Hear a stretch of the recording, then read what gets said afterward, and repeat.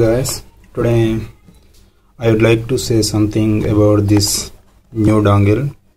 This is Huawei E8221 as you can see. The price is around 1500 Indian rupees. I have been using this with BSNL 3G SIM and getting around 6 to 7 megabits per second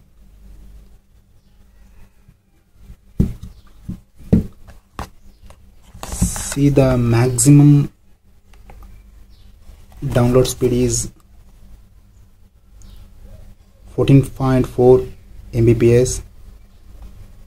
And it also has Wi-Fi Wi-Fi. Just we what we do is all we need to do is just took some power adapter and plug it to it then plug into power source we can use as Wi-Fi. So we can connect up to 10 devices. That's really good. The main thing is the minor con is uh, it has some heating issues. When we continue use for 2-3 hours it gets heat but it's common I think.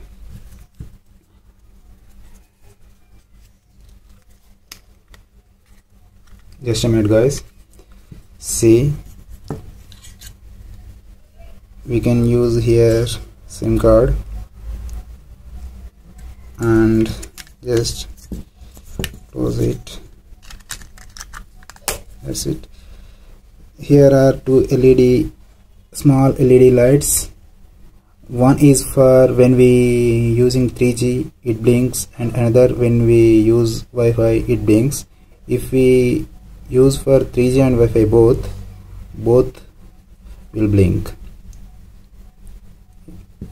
And uh, see speed up to 14.4 Mbps